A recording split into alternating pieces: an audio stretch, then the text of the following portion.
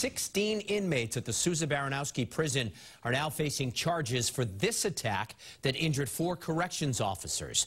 Today, the grand jury handed up 109 indictments in connection with the case. And we learned that only one of the officers has returned to work. WBZ's Paula Ebben has the latest. Well, Lisa and David, the 16 inmates charged in the January 11th attack inside the prison are facing charges ranging from assault and battery to kidnapping. Surveillance video from the prison shows the attack. You can see the inmates surround a corrections officer and attack him.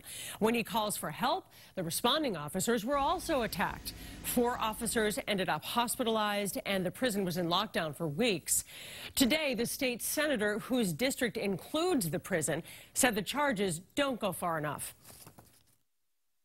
They get attacked every day, and they need our support. So we're out here today not just to show our support for our law enforcement who are patrolling our streets, but our law enforcement in our prisons who are keeping us safe from these convicted criminals. The Department of Corrections released a statement saying DOC personnel work every day to provide a safe environment for inmates, staff, visitors, and volunteers. We are relieved that the injured officers are recovering and will support District Attorney Early offices, uh, Early's office with their investigation as necessary.